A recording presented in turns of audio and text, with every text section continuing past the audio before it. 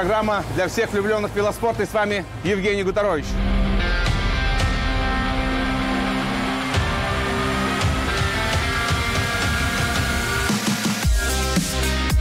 Как вы заметили, за моей спиной нетипичный пейзаж. Все правильно, мы на лодке, а не на велосипеде. Мы в Санкт-Петербурге. И именно здесь мы начинаем второй сезон программы «Велолав».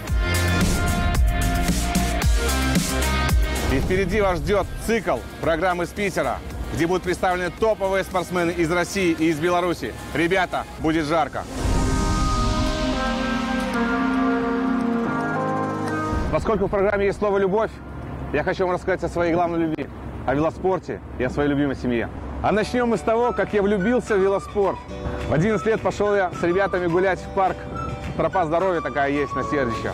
И видел, там катаются спортсмены на велосипедах. Я как-то крикнул, дай прокатиться. Видно, он меня не понял. Там тренер сзади идет, у него спрашивай. Я дождался тренера, он мне сказал, приходи завтра, и мы тебя посмотрим. И с того дня я не пропустил ни одного дня тренировки.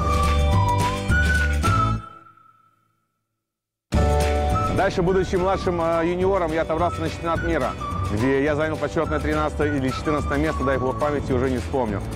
И после этого французская команда заинтересовалась мной.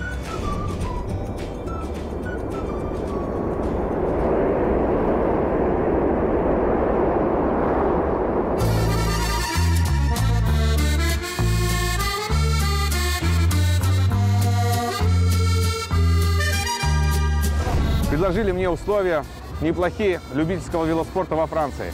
Но по достижению 18 лет, на тот момент мне было 16. Я через два года стал еще прогрессивнее, поэтому я переехал к ним. А после этого уже э, мной заинтересовались французские команды высшей лиги. Ну а дальше завертелось, залетелось, полетело. Ой, ребят, то я во Франции прожил 14 лет и поменял э, 5 команд, э, поменял 6 городов. J'aime la France, j'aime la Biélorussie, vive le sport. J'adore et j'aime bien d'être ici, franchement. Я не уверен, состоялся бы я как успешный спортсмен, если бы не мой надежный тыл, моя любимая супруга Олечка. В 10 класс попали с разных школ, там познакомились, это был 99 год, я увидел, был очарован. И, в общем-то, с тех пор мы ни на один день, как с велоспортом, в общем-то, не расстались. Он просто такой был властный, такой вот классный, такой вот просто он, я даже не знаю, он так себя вел просто как настоящий мужчина. Я просто почувствовала, что я вот просто как за каменной стеной. А, и уезжал я на соревнования, э, на гонки во Францию по, по 6, по 7, по 8 месяцев в году. И вот, как говорят, да, огонь, э, огонь – это любовь, да, а ветер – это расстояние. И чем э, больше ветра, да, тем огонь разгорается. Так вот, чем больше расстояние, тем э, крепче любовь, мне кажется, есть любовь настоящая. Мы очень долго жили друг без друга, писали письма. Если кто-то помнит, еще, наверное, это уже в наше времена забылось. На самом деле мы писали письма раз в неделю друг другу. Расстояние и наша разлука была непростой. Мы всячески друг друга поддерживали письмами, звонками. Все это было очень дорого. Я помню, как мама меня все время ругала, что приходили вот такие счета просто. Уже еще зарплата там была не сильно, ну, такая большая. Но для меня... евро в месяц. Но для меня это было просто. Я все равно звонила и часами просто разговаривала. Все деньги уходили просто на телефонные звонки.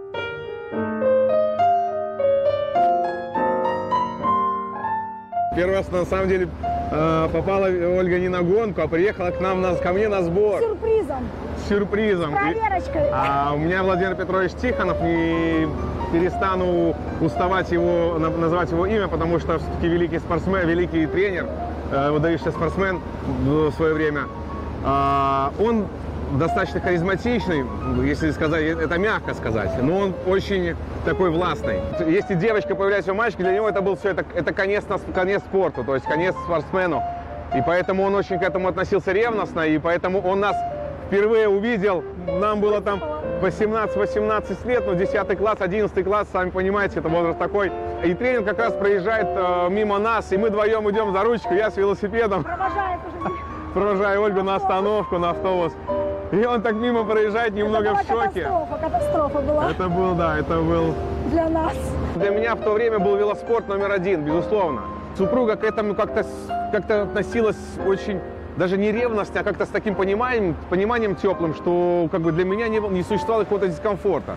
Я видела, как он этим горит, как он на тренировке собирается, как он стирает вещи после каждой тренировки, как мы зашивали эти носки, порваны, еще велоформы не было. Да, велоформы не было, так Было тяжело с велоформой, мы сидели там, штопали перед соревнованиями. Там. Романтично. Да, романтично, еще машинки стирали не было даже.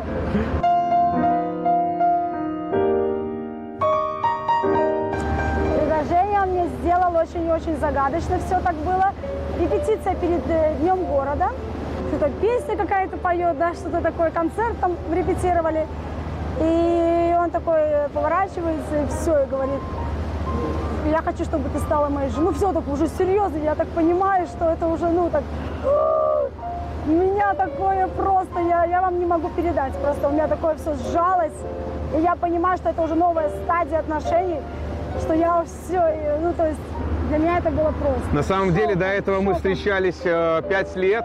А, То есть пять лет это были на самом деле не самые простые года. Я еще не знал, попаду ли я в велоспорт, в профессиональный э, велоспорт, или я не попаду. То есть эти пять лет встреч наш были настолько, настолько вот э, фундаментальные. Я скажу, что это был наш фундамент, на котором построен сегодня наш дом, э, наших отношений. Я провел замечательную карьеру. Как нескромно это будет сказано, добился многих успехов. Но самая главная моя награда – это мои детки. А сейчас знакомься с детками. Значит, самый младшенький у нас Александр. Пять лет, боец, уже катается на велосипеде. Дальше у нас Виолетта, спортсменочка, велоспортом занимается сколько уже? Два с половиной года. Занимается моего тренера Тихонова. И старшая моя дочь, Евелиночка, 14 лет. Умница, красавица и просто замечательная девочка. Мамина помощница, которая помогала мне с пеленок всех выращивать. Я же вам говорил, что мы в Питере. И это не случайность. Потому что здесь живет мой любимый братик Игорь.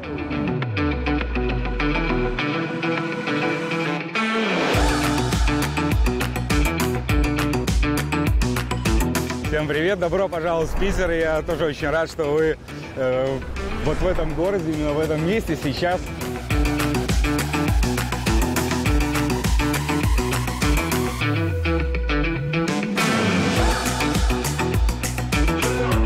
Какой закат. Закат, красивый очень закат. Э, 24 на 7, беспрерывного воспитания и э, воспитание И получился человек, бойцовского да? духа. Мы погодки. Мы погодки, Не, ну 1,6. ну, 1,5. Ну, я просто был с тобой одного роста, а ты завидовал. Вот, дрались было. Когда Женя начал заниматься спортом, мы ну, не виделись годами.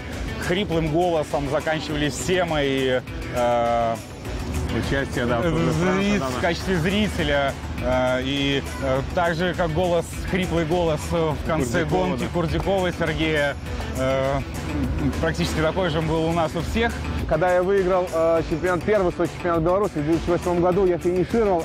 Он настолько был в кураже, э, радуясь моей победе, он стоял там 50 метров э, за линией финиша, но мы ли- несли- не- неслись порядка там 60, ну, 65 км в час.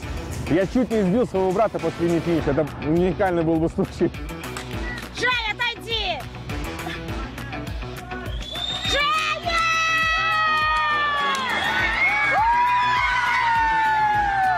Подожди, Первая ты победа. меня чуть не сбил. Я чуть тебя не это сбил. я тебя чуть Ну, не сбил. чуть не сбил. Сейчас это было в районе Дворца, Дворца спорта. спорта, да. Женя отставал, а, ну, как мне кажется, метров 20 или 30, Да, и больше, уже больше. это было второе 100 там место. было. И Ну, ты знал, что я спринтер, ты А. знал, что я все на последних метрах Женя, если честно, я думал, что... Короче, ты не верил мне. э, Все, ребят, заканчиваем программу. да, деньги домой. были потрачены зря на билет из Москвы.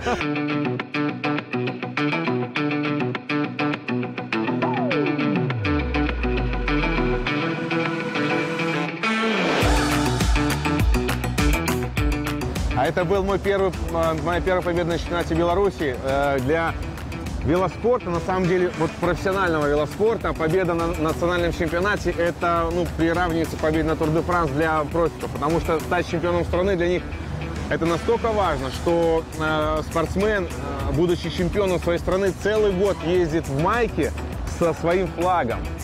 То есть целый год до следующего чемпионата страны. Пока либо подтвердить, либо проиграть. То есть это настолько уникальное явление, что каждый спортсмен хочет быть чемпионом своей страны. Я это стал первый, первый раз, для меня это было тоже как, ну, неож... ну, как бы, не то, что неожиданно, было уникальный момент. И вот, и вот, я вижу, что просто приближается белое пятно. Э, Можно назвать команду? Да, Франциск А, это была команда Франциск Дежо. И вообще рядом с ним никого нет. Я с такой радостью выскакиваю на проспект, поднимаю вот так вот руку, и я просто в этот момент увидел, как Женя на лесо, как он успевает вот так увернуться в самый последний момент. Это просто был метр. Вот, честное слово, это, Да, я, я вот, это Я, миллисекунда, протер- когда я подумал, что я сейчас собью своего брата, который занял первое место. Э, Это эйфория. Я испугался. Это эйфория. Велоспорт заставляет э, чувствовать Ну, и до- эмоции до- достает. Да, да, да, да. Эти эмоции эйфории, эти эмоции радости, эти эмоции счастья. э, Велоспорт влюбляет в себя. Я это говорил уже неоднократно.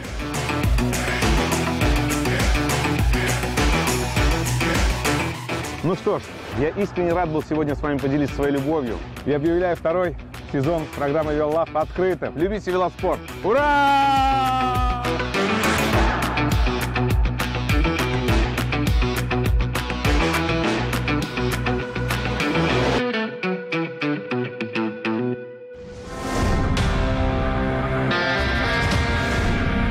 На велотреке наша сборная сражается на Гран-при Санкт-Петербурга. Что ж, давно не спишь?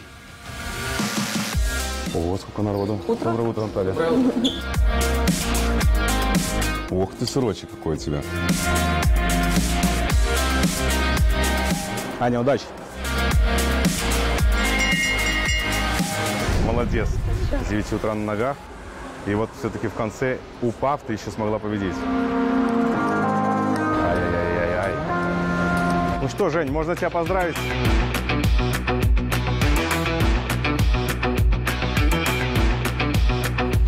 Всем мимо вам.